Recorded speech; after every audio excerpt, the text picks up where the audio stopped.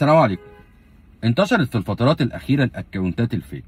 كل واحد متغاظ من حد يعمل account fake ويكتب عليه. كل واحد بيحب واحدة ومش قادر يوصل لها يعمل account fake باسمها أو يعمل account fake حتى لو باسمه أو باسم شخص مستعار ويبتدي يشتم عليها أو يشوه صورتها. الأكونتات ال fake زي ما قلنا بقت مليانة بغزارة على ال social media. ولكن أنا عايز أقول لحضراتكم على حاجة معينة.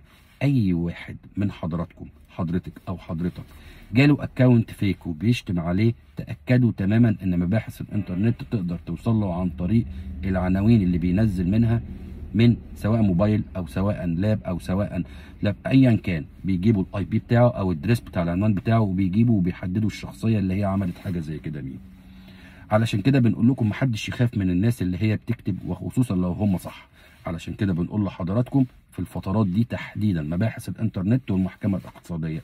ما عندهمش دور إلا إن هم يدوروا ويلاقوا الناس اللي بتعمل أكونتات fake وبتشتم على ال social media على ناس تاني محترمة.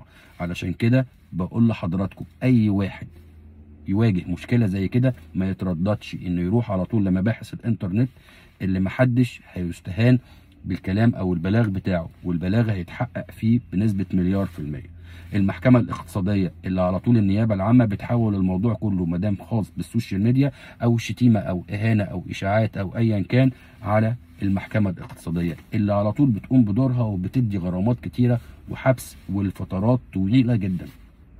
والأمر زي ما قلت على فكرة مباحث الإنترنت عايزة تعمل شغل وبتعمل شغل عالي جدا في الصفحات ال fake والصفحات اللي هي بتطلع وهمية علشان تهين حاجات معينة أو إن هي تشتم ناس معينة أو أو أو أو أو.